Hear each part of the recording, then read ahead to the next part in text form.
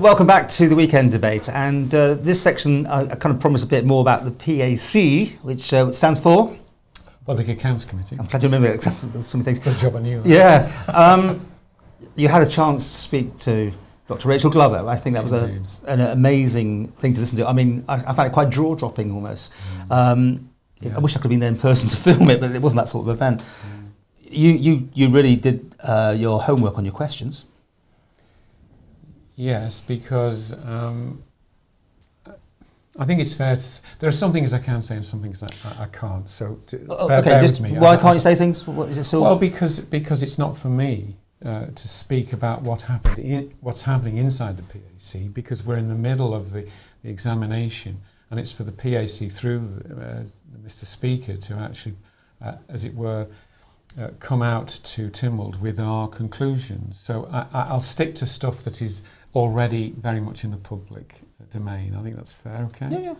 Uh, except to say one thing before it got to the, the PAC, uh, and that is that, that, well, as far as I'm concerned, um, Dr. Ra Rachel Glover is an extraordinary woman, and she has delivered the most magnificent service to the Isle of Man. And I personally deeply regret that that hasn't been acknowledged to the degree I believe it should. Um, if I can compare, again, this is in the public domain. Jersey was looking for a, a, a comparable service last year, and if you read the, Jer the Jersey newspapers, they bought in a, a full-blown lab in containers with staff, cost them £5 million between July and September. Rachel Glover rocked up with top-class information support, guidance and equipment off just because she's a local girl made good. And the way that lady has been treated, just because she speaks her mind, I think has been absolutely pathetic. And that's a personal view. Um, as far as Rachel's concerned, you, you can understand her discomfort with the political process, governmental engagement, um, and it, it, it took some time to engender sufficient trust uh, in Rachel's mind for her to address the issues through the PAC, which she's now doing. Um, so, you know, the, the government were, were, were, were claiming uh, quite rightly that the, the, uh, the PCR system that we had was, was, you know, gold standard. That was Rachel. The equipment was Rachel. The training given to the lab was Rachel. They, they found a machine though in the back room that no one knew about, which she said, "That's the machine we need." I thought that was brilliant when that came yeah, out. Yeah, and then this sort of this uh, general denial about uh, about uh, uh genomic sequencing. Oh, it's just one of those things. No, it's not. It's not one of those things. And um, I think Rachel said this in public somewhere that, that there are ways of analysing uh, PRC um, PCR, sorry, uh, uh, evidence to drill down further to identify what vari particular variant it is. So she's she's an absolutely extraordinary woman, and I I just crumple um, in the way that the the senior politicians uh, have handled this, and um, I, I only hope that out of all of this, there's a way back. Yeah. There's a way back. How many times have you said that? You know, she's, she said she'd worked with government many, many times. It's not happening. Uh, we'll come back to you. Jan? It was absolutely compelling listening, and I think anyone in the Isle of Man community, if they do find time, just to go into that, because you listen to someone who is obviously speaking from the heart, recollecting a chain of events. And we're still awaiting for this point by point rebuttal. I know there's been a, a, a statement today that something will be coming out in due course, but there was no immediate, you know, um, challenge to what was said. But I think to the electorate around the Isle of Man, half of whom are going to be female, um, they're going to be looking at sympathy with Dr. Glover and the way she's been treated. And we had that incident with the uh, the shredded letter and what have you. Which Is it a letter or was, not a letter? Was a, was a, a farce, really, the way it was articulated and so forth. But you're looking at the gender bias right across the parliamentary system you know, in government. you know, where it counts in, in CoMin, that there are no women represented. And it's almost got that kind of flavour, the, the way she's been treated. Is there a, that element that, that has played a part? So we get down the word misogynistic here, are we? I mean, almost well, like. What, what, what I'm saying is, it, it, it does seem to be unbalanced. What's happened is the treatment. Uh, is, I mean, not having a woman in CoMin. Well, there was one, obviously, there was one, and then wasn't anymore. One, one, well, in CoMin, because we had uh, ex health Kate. minister, Kate, yeah, Kate, but uh, Yeah. flowers But- and but, you flower know, gate and all it- that it- sort of It's completely, you know, deserted, uh, you know, for women. And, and you know, we've been through this this amazingly challenging It's time, and where there's been no input. It's deeper than misogyny, and we accidentally touched on it in the first section about the, the, the control that government's got. It's, it's, it's got a, it's, get, it's large and getting bigger, that's number one. Uh, number two, there's an awful lot of businesses on the Isle of Man that have contracts with government. Look what, look what the government spends in a year. And then there are other businesses that haven't got contracts with government that would like contracts with government. So progressively, government's got in a position where it believes it can say what it wants to say without examination, just for once. Somebody came along who knew exactly what they were talking about and criticised in a constructive way what was being said. And, well, the response publicly, because I'm staying in that space, Mm. the response publicly has been just breathtaking, really, as far as uh, uh, the, the ministers have behaved. Embarrassing. Did they not see what Rachel did? You know, I mean, she's a she's a heroine. Can I be really Well, brutal she, here? needs an award. Yes, can I be brutal here?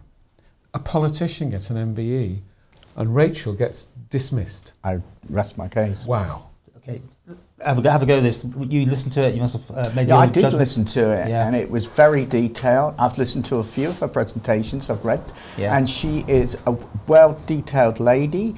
Uh, to me, she knows what she's talking about. She's she's. I believe she's h- holding back a lot of hurt. I think you can tell she has passion for the Isle of Man. As you say, Chris, she's local to the Isle of Man. She did everything for the best, and she's been treated Right, well, way. let's bring in this rebuttal thing, which you just touched on, because I was, I was holding that back. We finally get, as day of broad- of recording, not the blow by blow rebuttal, which was I was led to believe, and it was taking them a few days because they had Easter and they had to take their time off, and they're off. We, we've heard all this. So a week goes by, and even come the you know the weekend, I go, wow. So there's nothing now to next week. But anyway, over the weekend we get a sort of summary. Anyone want to pick up on you know what It- they it think was, about? It was vague. Vague, and I- Vague I, news. I think you know certainly this weekend our media will be probing for further information on that because when they said they made the claim, right, we, we're going to meet this head on. There's going to be a series of claims and you know counter Yeah, it was like so some of it. It was like every point. We're Yeah. going to rebut every single point. That's how it read to me anyway. Yeah. And I think the public could welcome some immediacy, immediacy about that and transparency.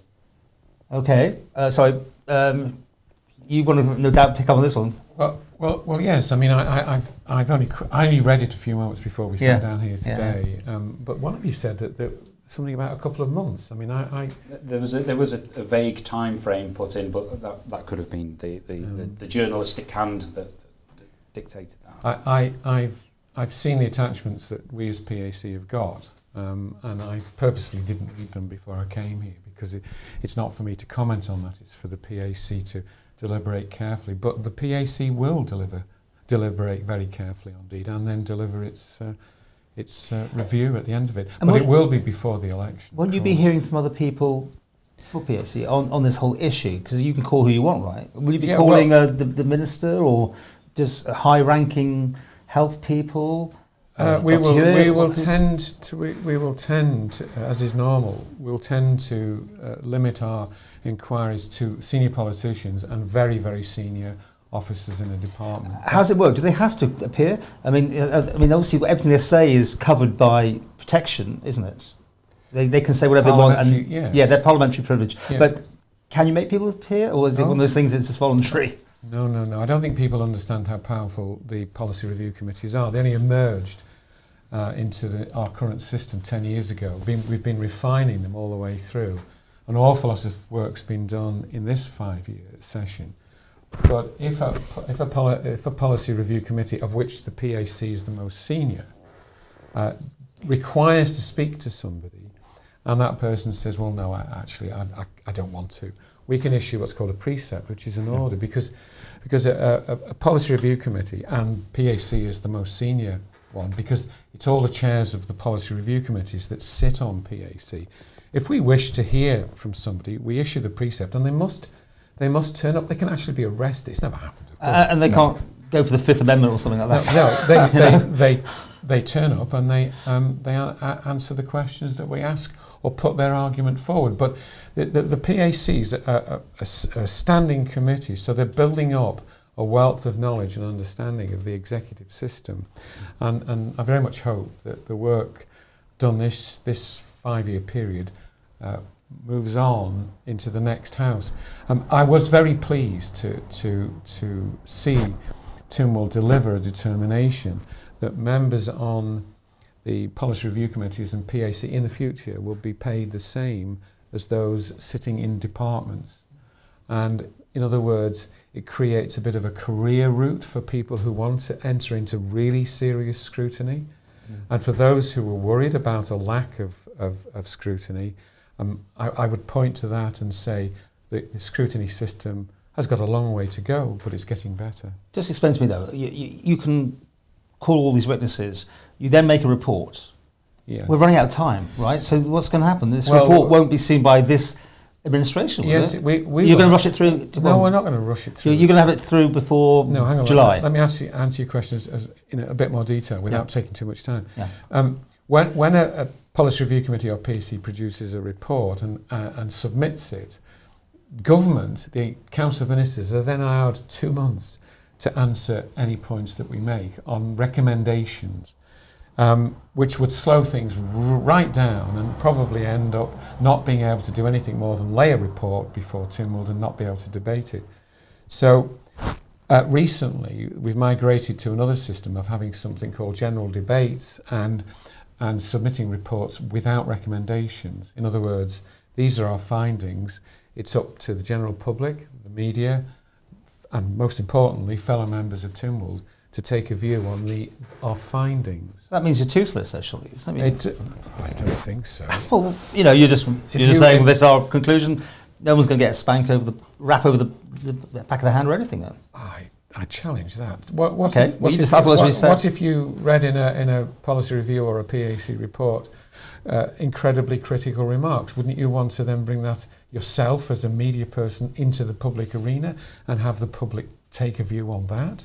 Isn't You that can a take very a view, but it's not going to change the world, is it? That's unfortunately what- the way we live. And, and it doesn't matter what you say, other people will, will have a totally opposite opinion. That's another thing that we, we well, have at these least, days. at least we will be getting. Let's bring these guys in here. uh, yeah. Come on. I think that the public Sorry. would like to see facts laid, laid out, timelines, easy to digest, easy to read, and they can make their own judgment. But from what I hear, it's going to be quite obvious what where the situation lies. So, and September, of course, is time for decision Judgment making. Isn't it? So- yeah? Well, it, we do have a timeline, and, and obviously, uh, we need to make sure that we get everything through in time to be able to, I presume, uh, this regime, of the- would they answerable? Can it go over to the next regime? How no, does it no, work? no, no. Um, the election is a start again point.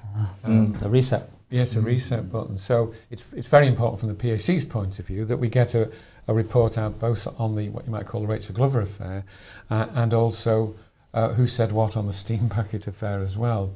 But the other committee, Ah, okay. Let's on the sideline of that. Did you read anything into the, the, the chairman and whatever the, the, the guy who's running the steam packet is just going for retirement and before not not before a- anybody gets the blame? I mean, am I just being totally cynical on that it, one? no, I, don't, I, I personally I don't see it that way. Right. I, I, I, see Mark as being somebody, and, and the, the other guys who's Mhm. resigned as well. They've been there a long, long time. They worked under uh, a, a quite different regime. Mm. Um, things are obviously changing now. The public of the Isle of Man own the steam packet. My view is it's a sensible time to step aside and, and let somebody else take over. Yeah, what do you think? Yeah, no, it's it's perfect timing. Um, certainly, uh, we're, obviously, we're coming out of this COVID 19 crisis, and hopefully, we can see a future for the island going forward. And I think the timing is, is right to give a chance for, for a new um, man, Oh, Ged, Ged, Well, it's an exciting time, isn't it? Because we've got the new ferry terminal in Liverpool, and we've got a new vessel arriving. So there- there's 200 pound, 200 million And pounds. hope- of hopefully to we've got some Well, the- tourism. Yeah, the terminal's doing its best to overspend. I mean, it's you know, it's it, it'll be it's what is it, 48 million? It's going to go north of 50 million something. I mean, I can't wait to go and have a look at it as soon as we can get those boys. I want to see what's. It's just a hole in the ground, isn't it? I don't know how far it's got even, has it? It's they ha- no the structure itself. Oh, isn't it's, there, there. it's not. No, no, it's still groundworks as far as I know. Oh gosh, right, yeah, yeah. yeah. Um, but you know, Mark Woodward, bless him, never puts himself into the public areas. Does he talk to the public? Or, you know, we talk about these things. Would I mean, you could call him then, and he, he would come along. Oh, that's great. I've tied it up nicely. He would have to talk to you if you asked him to. Uh, well, there's two there's two uh, reports uh, investigations going on. One's by government itself. Uh, through Stephen Hines, who's the director, has been the, is the director of Audit Advisory.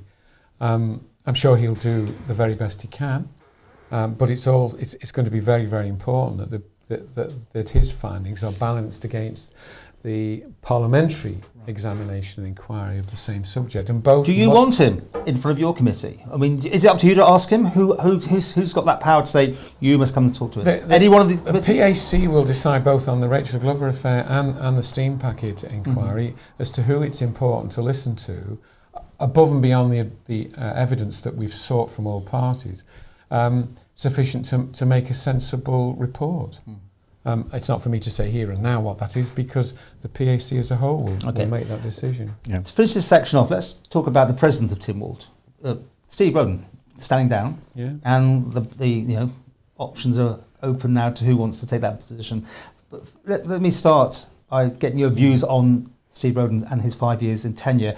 Come to you in a moment. I mean, you're talking as people just you know know him probably from seeing him on Tynwald Day, maybe like me mostly. Yeah. What do you think, Steve Rodan? Did he do a good job as president? I, I think he's done a commendable job. I think he's certainly been very professional and he certainly uh, followed the uh, Alabama values. Ged?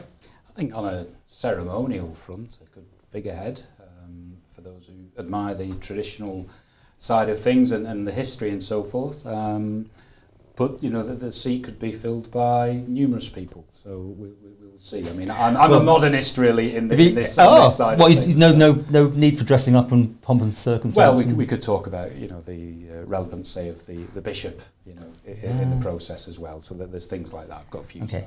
Well, uh, uh, Mr. Rodan likes dressing up, as you say, in pomp and circumstance. I think he does. And uh, obviously, um, we come to his successor, which could be another person who likes putting on uniforms. But anyway, first of all, quite possibly. yeah, I'll come to that. But what, what, what, I mean, you, you're the one that has to do this and Tim Wilton do that to get his attention uh, when you want to ask a question. Steve's done a good Done all right? job. St- Stephen's, Stephen's done a good job. I mean, we're, we're going through some extraordinary times, turbulent times. Um, uh, not least of which is an area which you know I, I uh, sort of have extraordinary frustrations over, and that is the, the need to speed up modernisation of, of our government. But we've gone through a, a major financial crisis, and then that, and then we had COVID.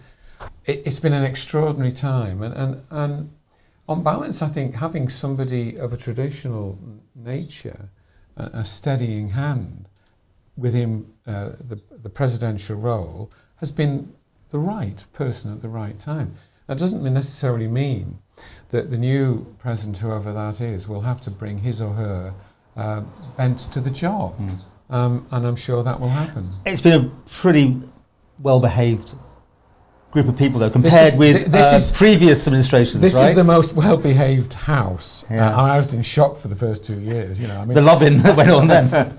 I mean, that was extraordinary. don't forget, the, Yeah. the, the, this is an interesting discussion approaching a, a, an election. The previous House was a very experienced one. Yeah. Um, and they know they knew what they where they were. I didn't always agree that where they were was Right. the right place. Uh, everybody brought their own opinions to it, but there was there was confidence and drive. Uh, albeit you may not very well agree with what was being said in the uh, old house, and then a whole tranche of new members came in, and those members took a couple of years to find their feet. They found their feet, and the the house has been a pretty different place for the last two years compared to the first two years. Um, what we can't do in the next house is is spend two years trying to find that house because I won't be there obviously.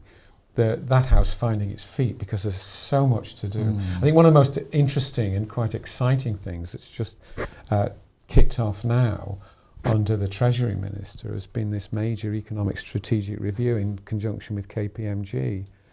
Um, uh, you're looking at me with some doubt there, but I, uh, we had a presentation um, this last week, and um, it was very good. It was very, very strategic and very high level, and exactly the sort of thing that we should be doing. Okay.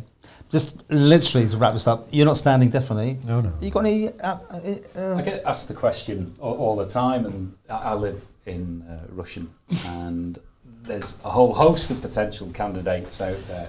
So naturally, I am tempted to look at that. Naturally, you know, that's that's just the way it is, isn't it? very poli- they're a politician already, seasoned politician. I ask a question, and I get a But run around a, there. A decision like that is is is huge. Yes or no? It- it's At the minute. Uh, At the I, minute. I wouldn't say anything until the summer. You know, sim- Right, simple so as that. that's a maybe. I was, I was going to say that if you're going to stand, you need to start Thinking about it. saying yes pretty Yeah. Any, any any ideas? At the moment, uh, you know, I'm. Uh, Well, you're going to give us another holding- politician an answer. Okay. Holding my cards close. Do you know? I think more people ever are I feel, about I feel, I'm, go- I'm going to be the only the- non-politician here. Sean. Oh, I've been there. I think what I've, you I've read tried out me it. back. I've tried it. what, what I can say is Yeah. that I'm a very active member with the Manx Labour Party. We've got some good campaigning with Sarah and Joney in Douglas and the, the, the town councillors, and it's been interesting just working in a political group and examining what's happening, what the way ahead is, and uh, hopefully engaging in some exciting campaigns. And we've got Gareth in Garff as well, so you know it's it's been exciting times for politics because people are taking an interest, in, and it's worth having a quick look at these sites on Facebook. The Isle of Man kind of lives around Facebook in a way, and you look at the attention people give to certain news and pages and what have you. But can you take the 10,000 people. feedback? 'Cause it's horrendous out there. It's the Wild West, so people Yeah, get put off, I'm sure, by the whole thing. I But know. I think I think people may exert their energies when, when they're looking at the ballot paper in September and they make the decision then. And the the victors in the campaigns will have a high profile in the media. I think I can see that and mm. examining, you know, the actions of the administration over the last five years and trying to think what are the triumphs that have happened Yeah. in five Okay. years. And that- It is, it's definitely going to be very interesting the next election. I think we're going to get a few surprises indeed. I think that goes without saying. Anyway, that's we'll, we'll come. We can cover that many more times. That's part two. Uh, I definitely want to talk about uh, tourism, especially with obviously these two guys. And you, because you involved in tourism Mm-hmm. and, and the hotel. But you know, that's well, the subject which we were going to talk about all those months ago when you were going to come to the show. Oh, of yeah, course. yeah, yeah. Well, so there's been a lot of changes, Yeah. hopefully for the better. You know. tourism in our next section.